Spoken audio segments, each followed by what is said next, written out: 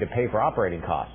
Hinton says the facility could be sold to another recycling operation, but the main goal is to get the most money for the property, building, and the contents.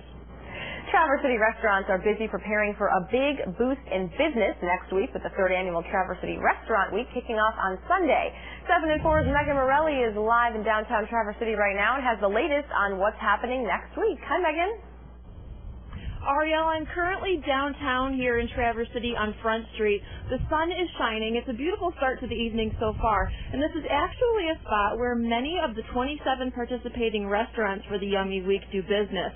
Now, this isn't just great for the people to get out there and try different restaurants in the area. It's also great for the economy in Traverse City, too. For one week, guests are invited to try a three-course meal for $25 at any of the participating restaurants.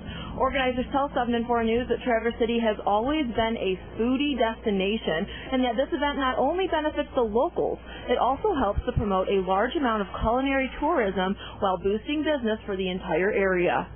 We're finally getting people that are coming up and making reservations here in Traverse City at the hotels for this event too.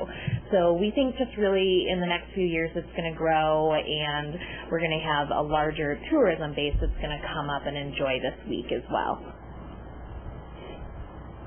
One of the restaurants participating, Stella's, tells 7 and 4 News that they expect a 50% increase in sales next week and are excited for the big event.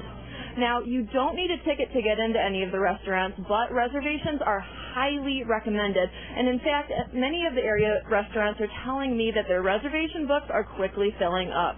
Live in downtown Traverse City, I'm Meghan Morelli, 7 and 4 News. For a complete list of the 20